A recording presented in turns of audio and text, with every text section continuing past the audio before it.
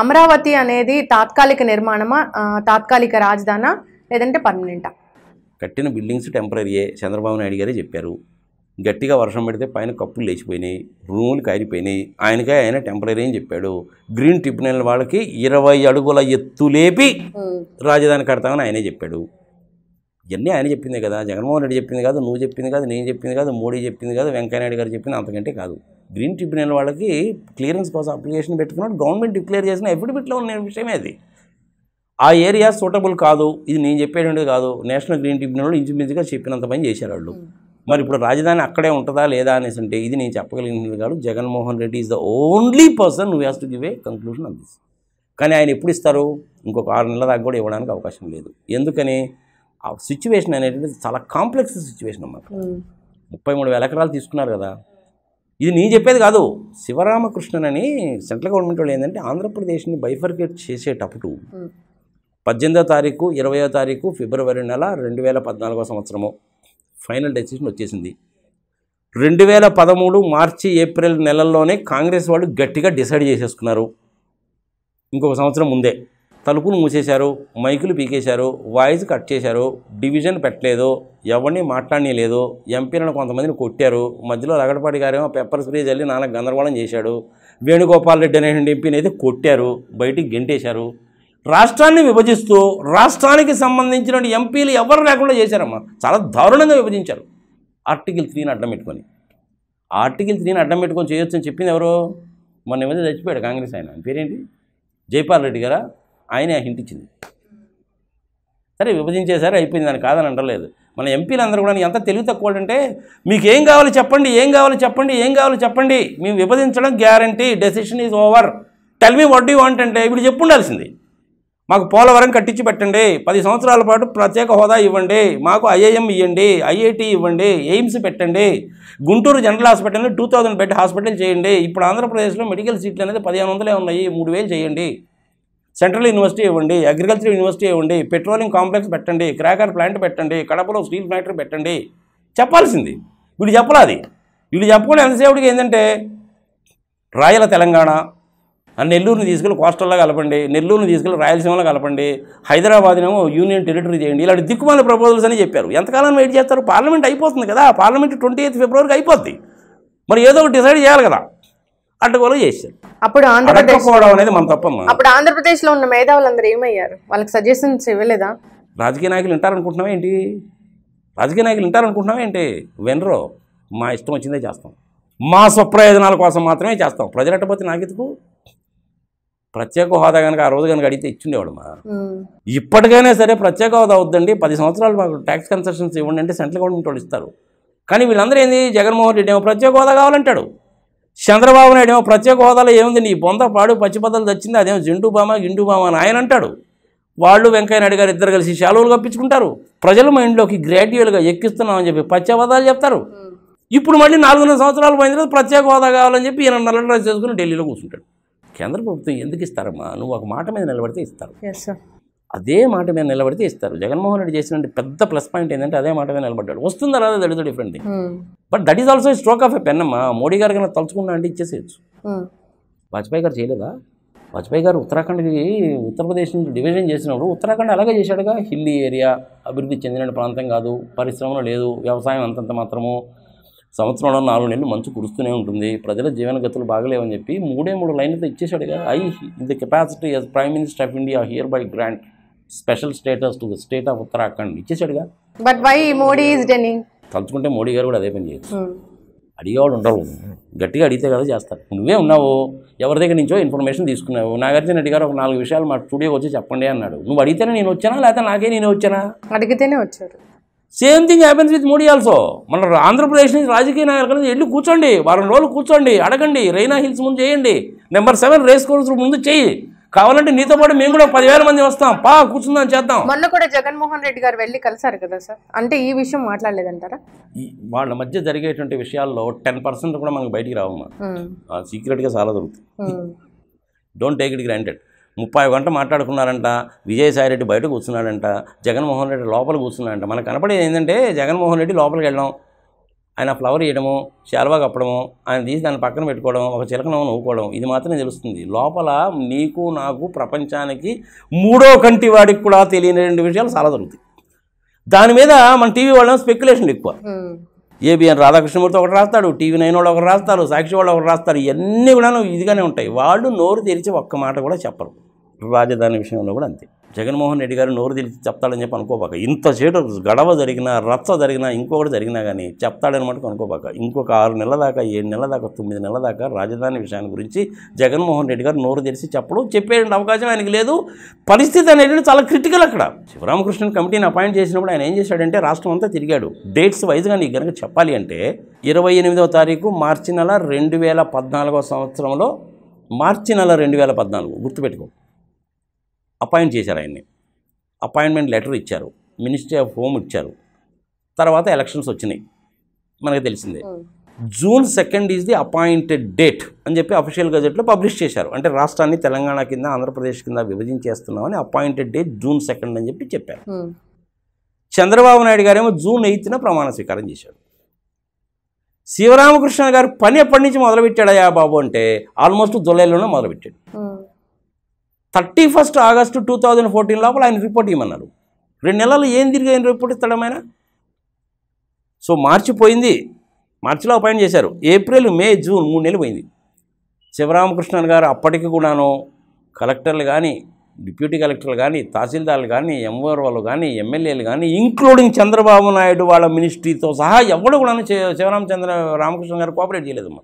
శివరామకృష్ణ గారితో సరే రిపోర్ట్ రాసేటప్పుడు ఆయన ఏదో రాసుకోవాలి కాబట్టి రాసుకుంటాడు. స్టేట్ గవర్నమెంట్ అఫీషియల్స్ అందరూ నాకు చాలా బాగా సహకరించారు. బ్రహ్మాండంగా నన్ను ట్రీట్ చేశారని రాసుకుంటాడు. పాపం ఆ విధంగా రాయకపోతే బాగుండదు కదా అందుకని చెప్పి రాశాడు. కానీ అసలు ఫ్యాక్ట్ ఆయన ఎప్పుడు చెప్పాడంటే ఇంకొక మూడు రోజులకు చనిపోతాడనగా హిందూ వాళ్ళకి ఇచ్చిన ఇంటర్వ్యూలో అసలు ఫ్యాక్ట్ ఏందో చెప్పాడమ్మ. చంద్రబాబు నాయుడు గారు మీరంటే నాకు చాలా గౌరవం. నేను మీ ఫ్యాన్ని మీకు చాలా మంచి విజన్ ఉంది. నేను చూశాను చాలామంది ముఖ్యమంత్రులని. వాళ్ళందరికంటే మీరు చాలా బెటరు. కానీ మీరు అమరావతిలో క్యాపిటల్ పెడుతున్నారు. This the wrong decision. ఇది నీకు కోపం వచ్చిందని చెప్పాడు. ఇది నేను చెప్పేది కాదు. హిందూ పేపర్ క్లిప్పింగ్ తీసి చూడు నీకే కనపడుద్ది. ఇంటర్నెట్లో ఎతికినా కానీ కనపడుద్ది. అంతకంటే మేధావా చంద్రబాబు నాయుడు కాదుగా.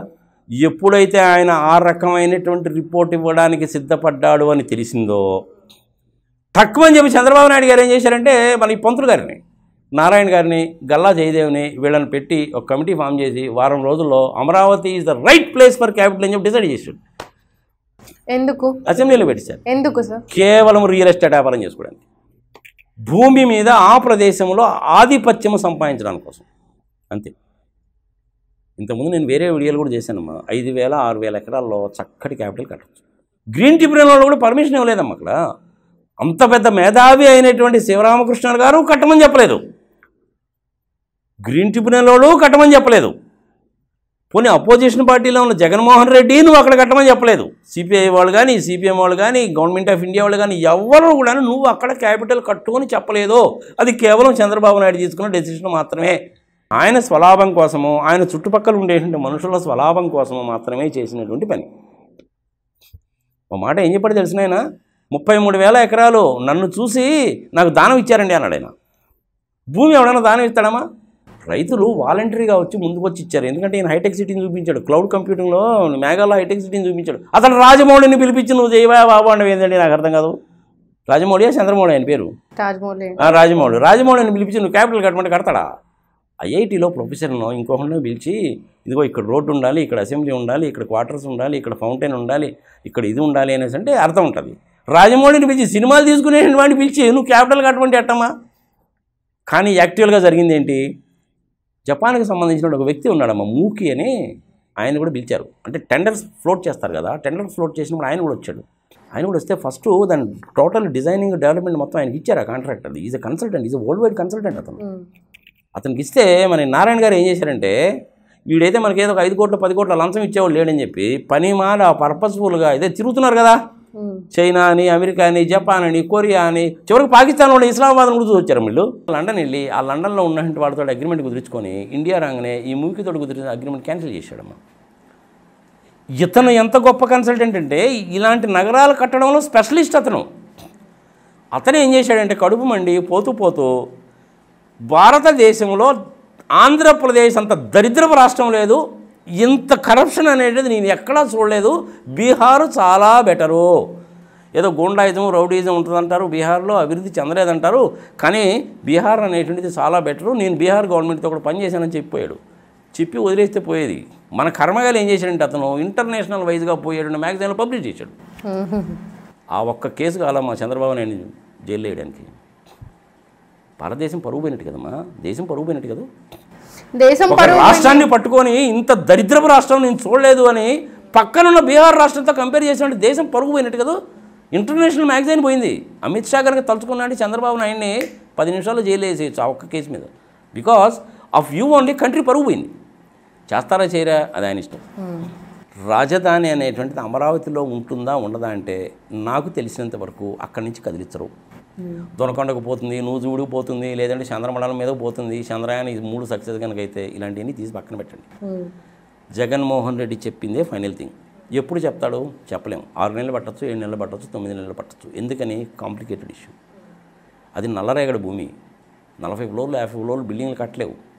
రివర్ పక్కన ఉంది రివర్ ఎంక్రోచ్మెంట్ చేసి కట్టడానికి వీల్లేదు. గ్రీన్ ట్రిబ్యునల్ అడ్డం వస్తుంది దానికి. ఇలాంటి కండిషన్లు అన్నీ ఉన్నాయి. ముప్పై మూడు వేల ఎకరాలు కదా తీసుకున్నారు. ముప్పై మూడు వేల ఎకరాలు ఏంటంటే రకరకాలైన పనులు చేశారు ఆడ. ఇప్పుడు సపోజ్ మీరే ఉన్నారమ్మా.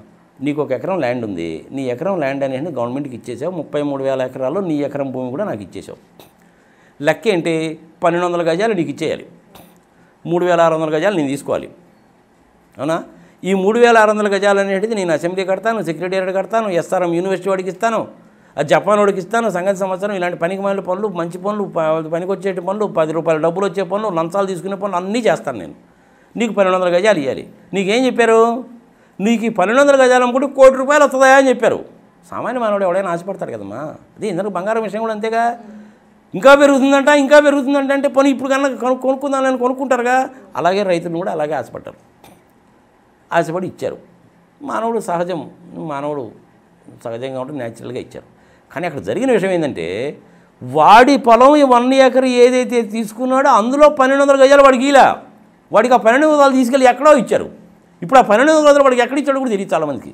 మరి ఈ పన్నెండు వందల గజాలు ఏం చేశారా బాబు అంటే అప్పారావుకి సుబ్బారావు తీసుకొచ్చి ఇచ్చారు. వాడేం చేశాడంటే ఇట్లాంటి చుట్టుపక్కల నాలుగు పోగు వేసుకొని ఒక ఎకరం చేసుకున్నాడు. రైతుకి ఏమి లాభం దాని మూలంగా? ఇప్పుడు ఆ మూడు వేల ఆరు వందల గజాలేమో గవర్నమెంట్ నేను తీసుకొని పో అన్నాడు అనుకో జగన్మోహన్ రెడ్డి. అనుకుందాం ఫర్ ఎగ్జాంపుల్. అయ్యా ఇదిగో నీ ముప్పై ఎకరం మూడు వేల ఆరు వందల గజాలు నువ్వు తీసుకుంటే నేనేం చేసుకోవాలండి? నాకు పన్నెండు వందల గజాలేమో ఏడీ లేదు తీసుకెళ్ళేమో అక్కడ ఇచ్చారు. ఈ పన్నెండు వందల గజాలేమో వేరే వాడిదండి నేనేం చేయాలండి అంటాడు. ఇది అన్యాయమా అక్రమా? హండ్రెడ్ పర్సెంట్ అన్యాయం. ఎందుకు చేశారు? కావాలని చేశారు. దేనికోసం చేశారు? రియల్ ఎస్టేట్ వ్యాపారం కోసం చేశారు.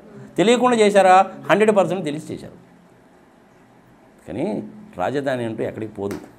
అక్కడే ఉంటుంది. నాలుగైదు ఏళ్ళ ఎకరాలు రిస్ట్రిక్ట్ చేస్తారు. చక్కటి రాజధాని చిన్న రాజధాని వస్తుంది. మన దేశంలో అటువంటి రాజధానులు చాలా ఉన్నాయమ్మా. భువనేశ్వర్ అనేటువంటిది రాష్ట్రం ఏర్పడిన తర్వాత కట్టిందే. చండీగఢ్ అనేటిది రెండు రాష్ట్రాల క్యాపిటల్. నయా రాయ్పూర్ అనేటువంటిది క్యాపిటలేగా. ఇవన్నీ కొత్తగా కట్టినాయి. ఇంకా భారతదేశానికి స్వతంత్రం వచ్చిన తర్వాత కొత్తగా కట్టిన క్యాపిటల్స్ అంటే ఈ మూడు నాలుగే ఎగ్జాంపుల్స్. రెండు రాష్ట్రాల క్యాపిటల్ అని చండీగఢ్ ప్రశాంతంగానే ఉందిగా. అది కూడా అంతా కలిపి తిప్పి తిప్పి కొట్టి పదిహేను వేల ఎకరాలు ఇరవై వేల ఎకరాల కంటే లేదుగా. ఓపెన్ స్పేసెస్ బాగా వదిలిపెట్టారుగా. నయా రాయ్పూర్ అంతా కూడా కట్టింది ఐదు ఆరు వేల ఎకరాల్లోనేగా ఖర్చు పెట్టింది ఐదు వేల కోట్లేగా. సగ్గానే కట్టారుగా. కానీ మన అమరావతిలో కిలోమీటర్ రోడ్డుకి ముప్పై రెండు కోట్లు అంటమా national highway solid concrete road వేయడానికి కూడా ఆరు ఏడు కోట్ల కంటే ఎక్కువ ఖర్చు కాదు పర్ కిలోమీటర్. పెద్ద పెద్ద బ్రిడ్జిలు వస్తాయి కల్వర్ట్స్ వస్తాయి అన్నీ వస్తాయి. ఒకసారి విలేజ్లో నుంచి మీరు బైపాస్ వేయాలి ఒకసారి విలేజ్లో నుంచి పైకి వేయాలి వాళ్ళందరి కాంపెన్సేషన్ ఇవ్వాలి. అయినప్పటికీ కిలోమీటర్కి ఆరు వేల ఆరు కోట్లు ఏడు కోట్ల కంటే ఎక్కువ కాదు. కానీ అమరావతిలో రోడ్డు వేస్తే ముప్పై రెండు కోట్లు అయిందంట. కారణం ఏంటంటే లూజ్ సాయిల్ అంటాడు. లూజ్ సాయిల్లో నువ్వు రోడ్డు వేయడానికే ముప్పై రెండు కోట్లు ఖర్చు అయితే ముప్పై అంతస్తుల బిల్డింగ్ ఎట్ట కడతావమ్మో చెప్పు. కామన్ సెన్స్ పాయింట్ కదా. మీరు ఎన్నాళ్ళ నుంచి ఉంటున్నారు హైదరాబాద్లో? ట్వంటీ ఇయర్స్ అవుతుంది. అవునా? ఒక్కసారి థర్టీ ఇయర్స్ బ్యాక్ కనుక పోతే మీకు తెలుస్తుంది. పంజగుట్టలో బిఎన్ రెడ్డి గారు అని కొన్ని అపార్ట్మెంట్స్ కట్టాడు. అదే యశోద హాస్పిటల్కి వెళ్ళే లైన్లో అక్కడి నుంచి ఒకప్పుడు మురికాలో వారుతుండేది. అది కొన్ని వందల సంవత్సరాల నుంచి. లూజ్ సాయిల్ అది. ఆయన గుండ్రంగా ఉండే బిల్డింగ్లు కడితే ఇనాగరేషన్ ముందే రెండు అంతస్తులు గుళ్ళు లోపలికి వెళ్ళిపోయింది భూమి లోపలికి. సాయిల్ లూజ్గా ఉంటే అలాగే అవుతుంది ఇప్పుడు అమరావతిలో కూడాను నలభై అంతస్తులు యాభై అంతస్తులు బిల్డింగ్లు కట్టాలంటే అదే ప్రాబ్లం. అది నల్లరేగడి సాయిల్ అది. కిందకు నువ్వు ఏమంతా వంద అడుగులు దొవినా కానీ నీకు బండ పడదు. సాయిల్ లూజ్గానే ఉంటుంది. కృష్ణా గోదావరి నదులమ్మాయి త్రేతాయుగం దగ్గర నుంచి పారుతున్నాయిగా. మనకు తెలిసిందే కదా అది. త్రేతాయుగము ఎన్ని సంవత్సరాలు? ద్వాపర యుగము ఎన్ని సంవత్సరాలు? కలియుగం ఎన్ని సంవత్సరాలు తెలుసా నీకు? త్రేతాయుగం అనేటువంటిది పన్నెండు లక్షల తొంభై వేల తొంభై ఆరు వేల సంవత్సరాలు అప్పటి నుంచి మారుతానే ఉంది. ఉమ్. దాని తర్వాత వచ్చింది ద్వాపర యుగం ఎనిమిది లక్షల అరవై నాలుగు వేల సంవత్సరాలు. కృష్ణా గోదావరి పారతనే ఉన్నాయి.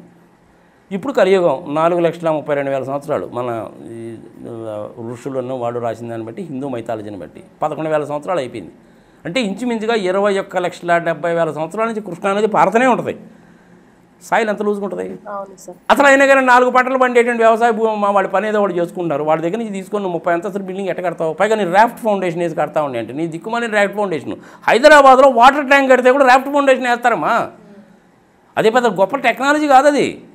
అదేదో గొప్ప టెక్నాలజీ అయినట్టు దాని పేపర్లో అడ్వర్టైజ్మెంట్ ఇచ్చి ఒక యాభై లక్షలు ఖర్చు పెడతారు. నీ సొమ్ము నా సొమ్ము. జీఎస్టీ రూపంలో ఇన్కమ్ ట్యాక్స్ రూపంలో నువ్వు నేను కట్టిన సొమ్ము అది. మేము రాఫ్ట్ ఫౌండేషన్ వేసి అసెంబ్లీ కడుతూనే ఉంటాం రాఫ్ట్ ఫౌండేషన్ వేసి అసెంబ్లీ కానీ కట్టకపోతే అది ఉండదు. అసెంబ్లీ నువ్వు పది అంతస్తుల బిల్డింగ్ ఎందుకు కట్టలేదు చెప్పు చంద్రబాబు నాయుడు. ఇక్కడ మన హైదరాబాద్లో ఉండే అసెంబ్లీ బిల్డింగ్స్ అన్ని పది అంతస్తులు ఉన్నాయా? మరి నువ్వు అక్కడ A B C D E blocks ఐదు అంతస్తులు ఎందుకు కట్టలేదు? ఒకటే అంతస్తు ఎందుకు కట్టలేదు? నిలవదమ్మాడ లూజ్ సాయిలది. మూకీ అనేటువంటి వాడు పిచ్చోడు కాదు ఆయనకి తెలుసు ఎట్ట కట్టాలో. అలాంటి వాడు నిజాలు చెప్తాడేమో మనకు ఒక రూపాయి డబ్బులు ఇవ్వడం అనేది వాడిని ఎలగొడిచారు వాడేమో పోతూ పోతూ దేశం పరుగు తీసిపోయాడు. మీకు డబ్బులు కావాలా? ప్రజల సమస్యలు తీరడం కావాలా? రాజకీయ నాయకులకు డబ్బులే కావాలి. ప్రజలకు సమస్యలు తీరడం కావాలి. మరి ఈ రెండింటి మధ్య బ్యాలెన్స్ వస్తుందా రాదా అంటే గ్యారంటీగా వస్తుంది. ఎప్పుడు వస్తుంది? ప్రజల్లో తెలివితేటలు వచ్చినప్పుడు వస్తుంది. ప్రజల్లో ఆల్రెడీ తెలివితేటలు వచ్చాయన్న సంగతి ఓ మూడు నెలల కింద ప్రూవ్ అయింది. లేకపోతే విజయ జగన్మోహన్ రెడ్డికి నూట యాభై ఒకటి ఎందుకు వస్తాయి? చంద్రబాబు నాయుడు. ఇరవై మూడు ఎందుకు వస్తాయి? ఆంధ్రప్రదేశ్లో ప్రజలు చాలా తెలియగలరు